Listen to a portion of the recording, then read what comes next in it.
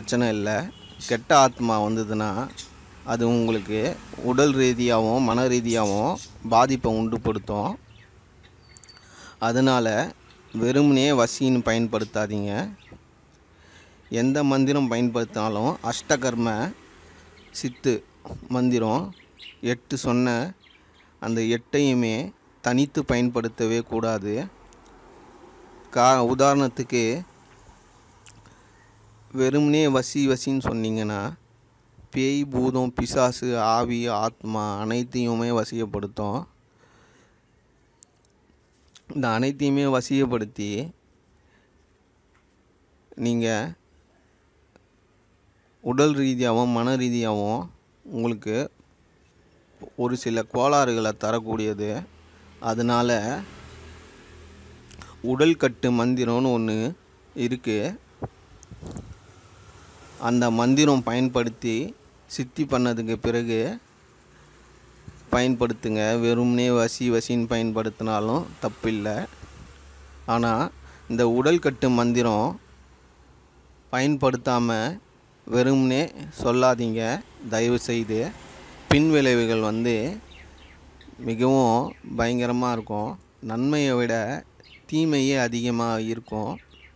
ஏன்னா ஒரு காரியம் செய்யும்போது அந்த காரியத்தில் வர பின்விளைவையும் முன்னாடி யோசித்து பயன்படுத்துங்க. ஒரு குரு ஆலோசனை இல்லாமல் இந்த அஷ்டகர்ம சித்து மந்திரத்தை பயன்படுத்தாதீங்க. உடல் கட்டு மந்திரம் நான் உங்களுக்கு அடுத்த பதிவில் போடுறேன். உதாரணத்துக்கு ஓம் ரீம் சிவ சிவ வசி வசி. அப்படின்னு சொல்லலாம். எந்த பாதிப்பும் வராது. இல்லை சிவ சிவ வசி வசின்னு கூட சொல்லலாம். நன்மைக்கு நீங்கள் பயன்படுத்துங்க. ஆனால் ஓம் ரிங் காளி தேவி வசி வசி ஓம் ரிங் மகா காளி வசி வசி இந்த மந்திரம்லாம் உடல்கட்டு மந்திரம் இல்லாமல் பயன்படுத்தவே கூடாது. ஏன்னா காளி தேவி வந்து மிகவும் ஆக்கர்ஷணமான தெய்வம். அனைத்தையுமே சகல தடைகளையும் நொறுக்கி தள்ளக்கூடிய மிக சக்தி வாய்ந்த தெய்வம் காளி உபாசனை எடுத்துக்கொள்கிறது இந்த காளி உபாசனை எடுக்கிறதுக்கு முன்னாடி கண்டிப்பாக ஒரு குரு மூலயமா உடல் கட்டு மந்திரம் கண்டிப்பாக தெரிஞ்சிருக்கணும். அப்படி இல்லைனாலும் ஸ்தம்பன மந்திரம் சித்தி பண்ணி வச்சுருக்கணும். ஸ்தம்பனன்றது தடுத்து நிறுத்துறது.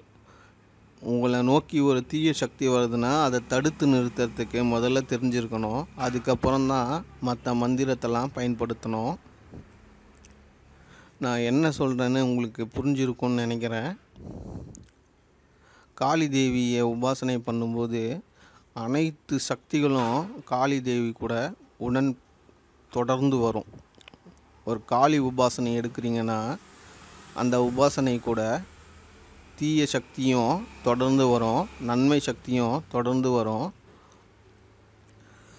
நன்மை சக்தியை விட தீய சக்தி தான் நம்மளுக்கு ரொம்ப கெடுதலை உண்டாக்கக்கூடியது. அந்த கெடுதலை நீங்கள் உடல் ரீதியாக மன ரீதியாக பாதிக்கப்படுவீங்க. அதனால் உடல் கட்டு மந்திரம் கண்டிப்பாக தெரிஞ்சு இருக்கணும் அதை சித்தி பண்ணி வச்சுருக்கணும். ஸ்தம்பன சித்து கண்டிப்பாக தெரிஞ்சிருக்கணும். இந்த மந்திரம் பயன்படுத்துறதுக்கு முன்னாடி ஸ்தம்பன மந்திரத்தை உங்களுக்கு உடல் கட்டு மந்திரமாக பயன்படுத்தி அதுக்கப்புறம் நீங்கள் காளி தேவி உபாசனையை பயன்படுத்தலாம். கெட்ட சக்தியெல்லாம் தடுத்து நிறுத்திட்டு நன்மைக்காக காளி தேவியை பயன்படுத்துங்க. இந்த வீடியோவில் அந்த அன்பர் கேட்டதுக்கு தெளிவான விளக்கம் கொடுத்துருக்கேன். மீண்டும் ஏதாவது புரியாமல் இருந்ததுன்னா கமெண்ட்டில் பண்ணுங்கள் கண்டிப்பாக நேரம் கிடைக்கும்போது அந்த விளக்கத்தை நான் உங்களுக்கு தெளிவாக உங்கள் கேள்விக்கான விளக்கத்தை சொல்கிறேன் இன்னொரு பதிவில். நன்றி நண்பர்களே. ஓம் நம சிவாய. வாழ்க வளமுடன்.